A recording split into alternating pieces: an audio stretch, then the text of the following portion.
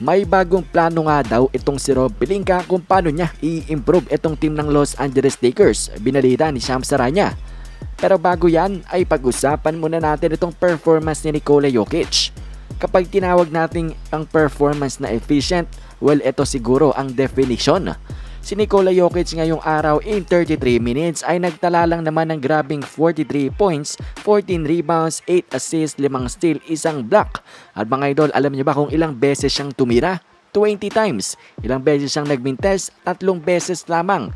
17 out of 20 sa field. 85% mga idol ang kanyang field goal percentage. Ang kanyang plus minus ay game high plus 28. Kaya naman, etong Denver Nuggets tinambakan itong Washington Wizards 141 to 128. So, yan ngang mga ganyang klaseng performances ang dahilan kung bakit two-time MVP, back-to-back MVP, etong si Nicola. Anyways mga idol, next balita natin ay hindi nga maganda para nga dito kay Lonzo Ball pati na rin sa mga fans ng Chicago Bulls. Dahil dito mga idol, hindi pa daw guaranteed etong si Lonzo Ball na magbabalik ngayong season. Kung matandaan nyo ay na-injured nga siya around January or February yata yun mga idol. Tapos sinabi in just a few months at very positive pa na makakabalik siya last season. Pero nga mga idol matapos ng kanyang rehab ay sumasakit pa rin ang kanyang tuhod.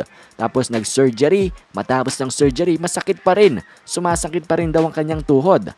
Kaya nga ayun, hindi na siya pinalaro last season. Tapos ngayon mga idol, ngayong season na ay malabo pa nga daw bumalik si Lonzo. Mag-iisang taon na ang kanyang injury mga idol na very mysterious. Hindi naman siya nagkaroon ng ACL or kung anong malalang injury. Small meniscus tear lang naman nung in-announce na nakuha neto ni Lonzo pero for some reason, mag-iisang taon ay wala pa rin.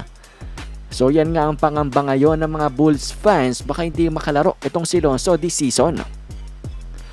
Pero anyways nga mga idol, ngayon ay pag-usapan na natin ang bagong plano neto ni Rob Pelinka patungkol sa Lakers. Ano na ba ang kanyang bagong gagawin dito sa kanilang team? Well, bago pa mag-umpisa ng season at sa umpisa ng season, alam natin na ang main asset na itong Lakers ay si Russell Westbrook, pati na nga rin yung kanilang dalawang first round pick. Pero ngayon ngang nag-improve etong si Russell Westbrook at medyo nag improve na rin ang team ng Los Angeles Lakers. Sinabi nga ni Sham Saranya ay nag-shift ng focus ng Lakers sa pagtitrade niya kay Patrick Beverly, Kendrick Nunn at ang kanilang mga second round picks. At pwede pa rin daw nilang i-trade yung first round pick basta protected.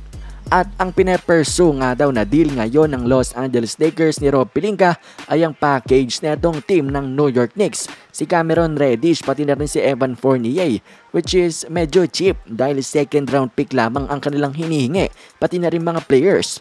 At hindi lamang yan mga idol dahil balita sa atin ni Chris Sainz ngayong araw na ang Lakers nga daw ay nag-inquire patungkol dito kay Kyle Kuzma sa Washington Wizards. Pero ang problema nga daw doon, sabi ni Chris Haynes, ay pinapalagahan ng todo ng Wizards etong ang si Kyle Kuzma at gusto nga daw siya ng GM. Malaki rin daw ang posibilidad na malaki ang hingi ng Wizards na kapalit ni Kuzma o kaya naman isign na lang siya sa malaking contract extension na gugustuhin nga neto ni Kyle Kuzma. So ngayon nga ang mataas lang na posibilidad na mangyaring trade para nga dito sa Lakers ay sa team ng New York Knicks, si Evan Fournier at si Cam Reddish. So yan nga ang pagbabago ng plano ni Rob Pelinka. Hindi na nga daw niya ititrade yung kanilang dalawang first round pick at si Russell Westbrook. At ngayon daw si Patrick Beverly, Kendrick Nunn at ang kanilang mga second round pick na lamang.